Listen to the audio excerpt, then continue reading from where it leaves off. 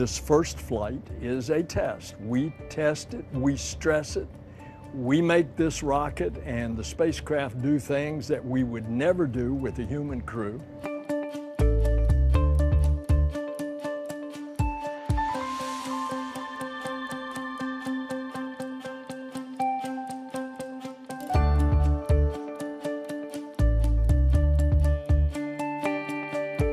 The main purpose of the flight is to test the heat shield because you can't test that in a lab.